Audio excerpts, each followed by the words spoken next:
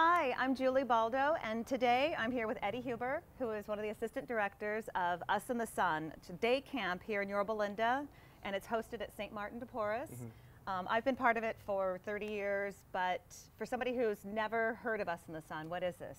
So Us in the Son is the day camp that we put on through St. Martin de Porres Church, um, and it's basically just the summer camp for the for the whole summer. There's different weeks that we offer, and basically what it is is just a summer camp that we do for the kids where it's based strongly in its Catholic faith, and we want to just be the face of Christ, the face of love to anybody that comes.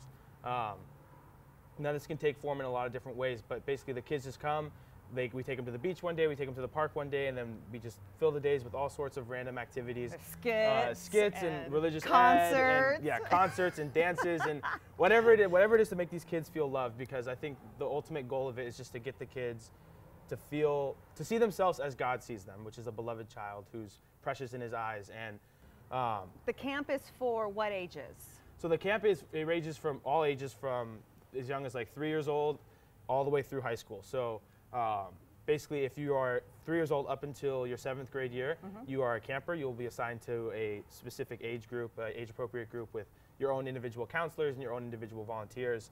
And then if you are going into seventh grade and up to senior year of high school, okay. you are a volunteer. So you are you'll be assigned to a counselor, you'll be assigned to an age group, and you basically just have to, you know, help with the with the kids. There's a lot because there's a lot of them, you know, making sure that everything's going well. It's a more leadership role. Yeah, it's more of a leadership okay. role, which is honestly like I never was a camper. I never did because I used to live in Chino Hills, so um, I never got to experience. Never that. got to experience camp oh. as a camper, but I did get to experience it as a volunteer, and I felt like crazy in love with the camp. Yeah. Um, the relationships that you build with the campers is, is really special. It's something that the campers will remember you for years and years and years. And honestly, I don't think I my my own faith life wouldn't be the same without it. My own life in general, I don't know where I would be without camp. But it just taught me so much about how to love, how to be loved, um, how to be accepted for who I am, and how. And my best friends all come from camp as well.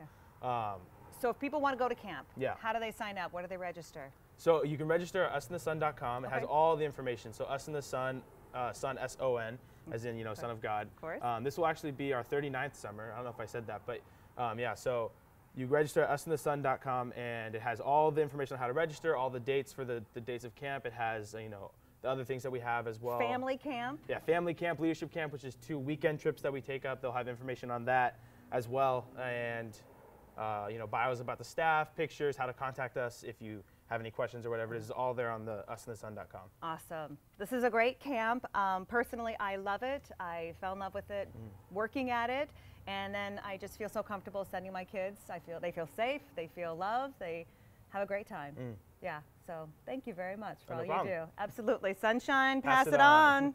Catch you next time.